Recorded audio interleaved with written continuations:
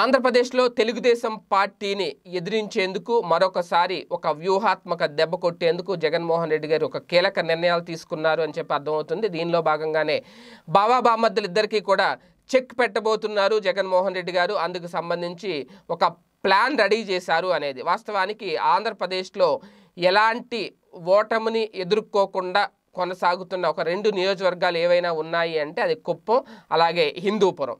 ఈ రెండు నియోజకవర్గాల్లో కుప్పం నుంచి చంద్రబాబు గారు హిందూపురం నుంచి బాలకృష్ణ. గతంలో కూడా ఎన్టీఆర్ గారి వారసులే అక్కడి నుంచి పోటీ చేస్తూ గెలుచు గెలుచుకుంటూ వచ్చారు. హిందూపురం నుంచి హిందూపురం సీట్ ఖచ్చితంగా తెలుగుదేశం పార్టీదే అనేది మొదటి నుంచి వినిపిస్తున్న వాదన.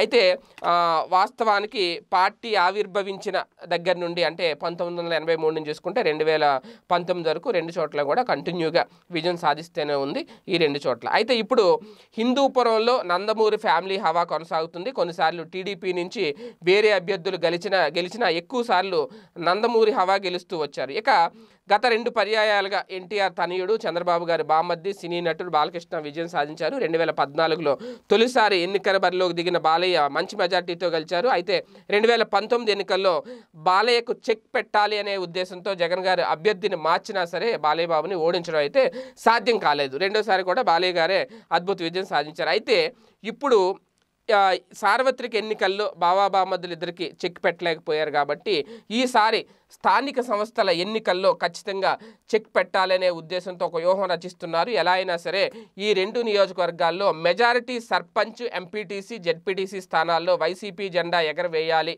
అనే దిశగా పావులు కదుపుతున్నారు అనేది చాలా క్లియర్గా అర్థమవుతుంది. ఆ మేరకే స్థానిక నేతలకు చాలా దిశానిర్దేశాలు కూడా చేశారు సిద్ధం చేశారు అనేది. ముఖ్యంగా హిందూపురం మున్సిపాలిటీ.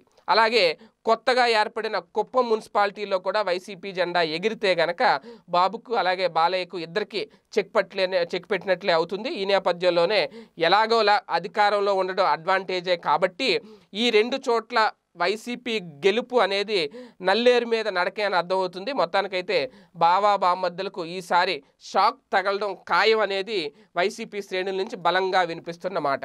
మరి ఎంతవరకు వ్యూహాలు వర్కౌట్ అవుతాయి? వీళ్ళిద్దరికీ నిజంగా ఈ స్థానిక సంస్థల్లో షాక్ తగులుతుందా? ఒకవేళ తగిలితే ఖచ్చితంగా ఆ ప్రభావం రెండు వేల ఇరవై నాలుగు సార్వత్రిక ఎన్నికల మీద చూపిస్తుంది. ఆ రెండు స్థానాల్లో అక్కడ రికార్డు బద్దలు కొట్టే అవకాశం వైసీపీకి వస్తుందా లేదా అనేది కూడా చూడాలి. ఈ వీడియో గనుక మీకు నచ్చినట్లయితే లైక్ చేయండి షేర్ చేయండి. మరిన్ని వీడియోస్ కోసం మా ఛానల్ను సబ్స్క్రైబ్ చేయండి.